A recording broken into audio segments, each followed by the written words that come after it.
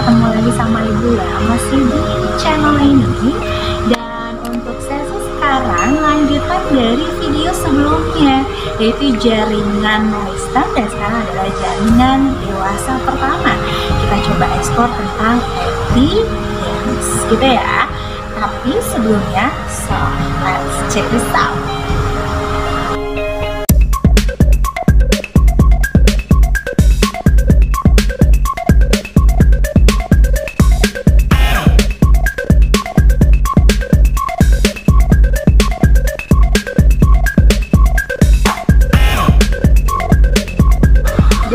jawabannya adalah Yeay, keren banget. Yang merasa jawabannya benar Simpan suaranya Dan karena sudah mulai fokus Langsung saja kita bahas jaringan dewasa pertama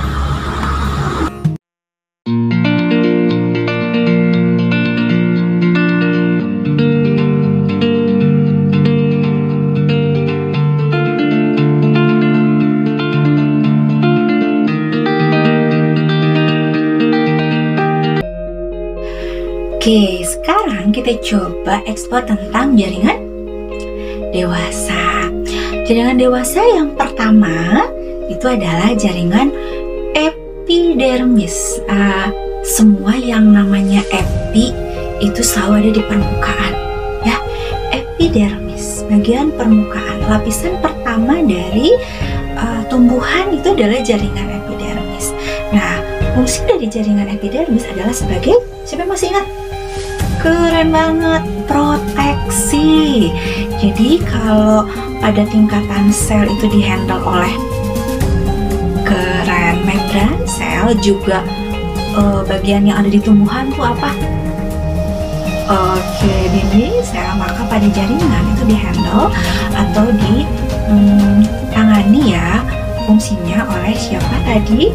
Jaringan epidermis dan Ternyata pada tumbuhan, jaringan epidermis yang berperan sebagai proteksi dari bagian penting tumbuhan, bagian dalam tumbuhan, atau organ dalam tumbuhan itu bisa termodifikasi bila ada di beberapa organ tertentu. Misalnya, pada apa tadi? Oh, keren, pada daun. Itu bisa jadi stomata. Nah, ini adalah stomata ya. Kalau tadi ada epidermis pada daun? Kamu jawab stomata. Stomata ini berperan dalam proses pertukaran udara. Eh, apa? Pertukaran udara. Modifikasi kedua dari epidermis yang berada pada bagian batang akar atau buah oh, ada yang disebut dengan tri koma tiga koma gitu ya tri koma trikoma itu ada yang berupa duri ini ada duri ya. Kemudian juga ada yang berupa rambut. Ada duri ada rambut. Itu siapa? Trikoma coba tumbuhan apa yang berduri? Wah pasti jawabannya legendaris. Keren 100 durian dong. Kemudian ada lagi bu yang jawab kaktus ada? Oke ada yang jawab bunga mawar. Keren ada lagi yang lain-lain. Pokoknya yang merasa jawab yang ada durinya 100 ya. Itu adalah contoh modifikasi epidermis pada bagian-bagian tumbuhan. Kalau yang rambut apa coba? Rambutan bu. Oke, ada siapa pada jagung pernah lihat nggak rambut jagung? Ya, atau di akar pernah dengar rambut akar? Oke, itu juga adalah bagian dari trikoma.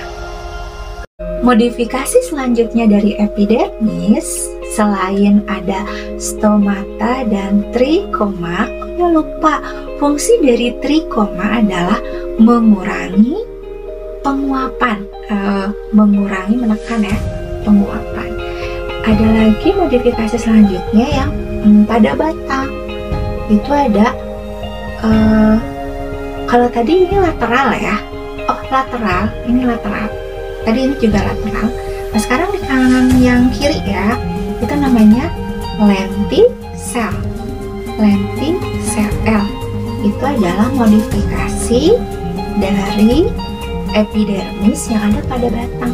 Contohnya kalau kalian misalkan melihat ada batang pohon kayak gini pecah-pecah bagian luarnya.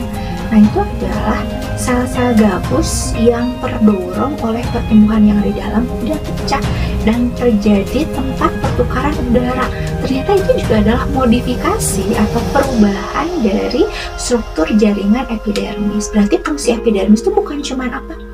Proteksi, ada yang tadi apa? Pada stomata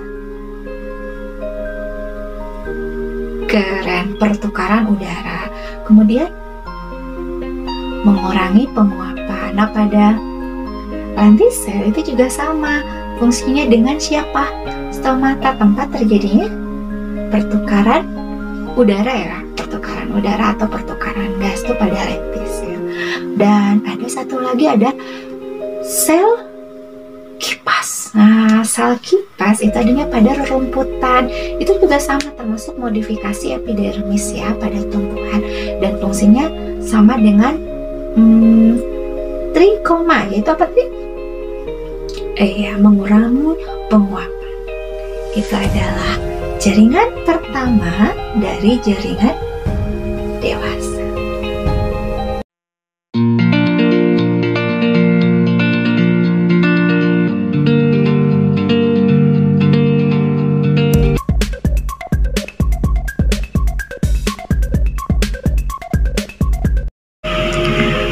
Struktur atau bentuk dari epidermis itu adalah e, persegi panjang dan rapat sekali karena tidak ada ruang antar sel.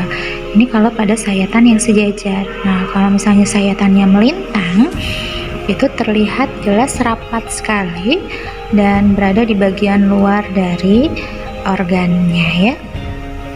Kemudian Stomata hanya ditemukan pada epidermis bagian bawah. Jadi daun itu punya dua lapisan epidermis atas dan bawah. Nah, bagian stomata yang kita lihat di sini ini adalah berasal dari bagian bawah daun.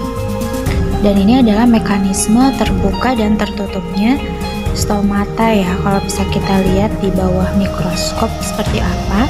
Ini adalah bagian celahnya, kemudian celah stomata ya. Yang ini adalah bagian sel penjaganya. Jadi sel penjaga di sini berfungsi untuk mengatur terbuka dan tertutupnya stomata dalam proses pertukaran udara dan uap air, gitu ya.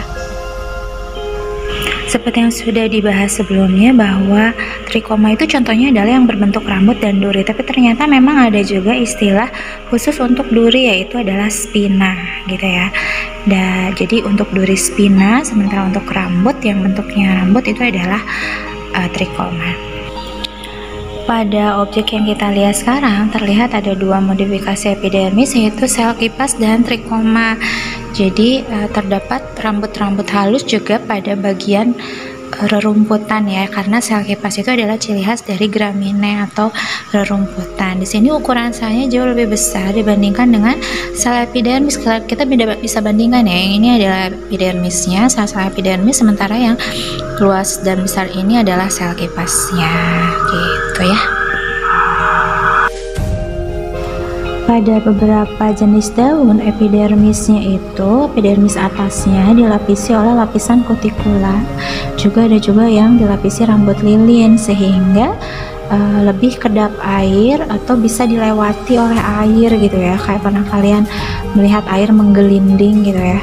Tetesan air di atas daun itu karena ada lapisan kutikula dan rambut lilin di bagian atas epidermisnya. Oke, anak-anakku itu tadi adalah explore di video kali ini tentang jaringan tumbuhan part 2 perbagian-bagian ya. Dan kita akan ketemu lagi di video selanjutnya untuk membahas jaringan dewasa selanjutnya. Jangan lupa stop skor kalian ke gadget masing-masing dan tulis sudah paham atau belum di kolom komentar. Kita juga kalau so see you at the next video. Assalamualaikum warahmatullahi wabarakatuh